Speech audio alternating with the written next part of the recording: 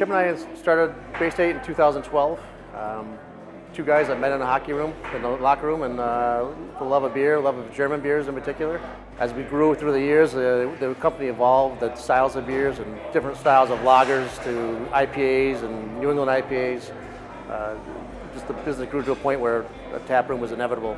I think Worcester chose us. Um, we looked at a lot of locations throughout Worcester County. Nothing ever felt right, and as soon as uh, we stumbled upon this place, and its availability, it just it seemed right right from the beginning. It's a big family here. Uh, between all the other establishments in the, in the place, we're just one giant family here in the ice house. We brew everything downstairs. We pump it up here. Everything's fermented here.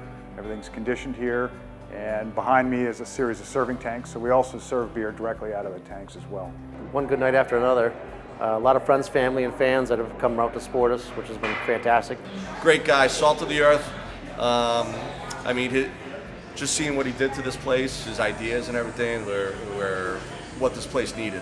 We had a lot of support from family and friends. They told their family and friends, and the, the uh, crowds just have kept coming and coming.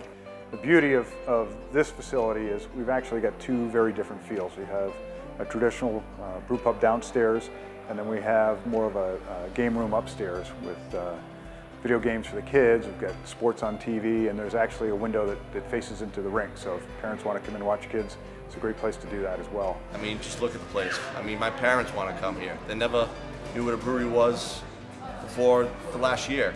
And you're going to get all walks of life, ages, the stuff he's doing downstairs for the little kids, the arcade games. Um, you just can't beat it. Very, very strong family vibe here. Um, and a lot of that has to do with the, the, kids in the rink. And then as the evening shifts on, you're starting to see more restaurant crowd. Our uh, chef has come up with an incredible menu that people have really taken to. And then the rest was just putting everything together and creating a synergy with the staff, and, and away we went. We still play hockey. We still bring beer in the locker room, and uh, just a continuation of, of the beginning.